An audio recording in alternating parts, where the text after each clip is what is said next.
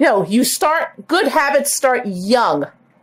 Okay, I'm really concerned about the health issues that are involved here.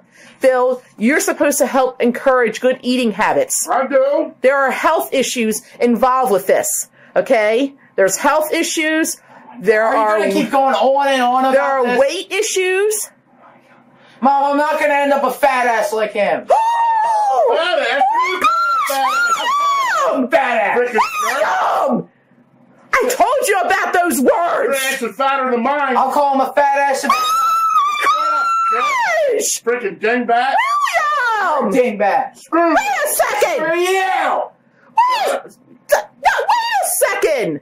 I'll give you some candy and that's what I get. That was my candy I Oh, bought! You didn't oh, give Well, him oh, shit kept anything! going on about it. And calling me a fat ass, what the hell are you talking about? Your I'm just being honest. your ass is fatter than mine. Oh what? my, oh my You- gosh. You get mad over the truth?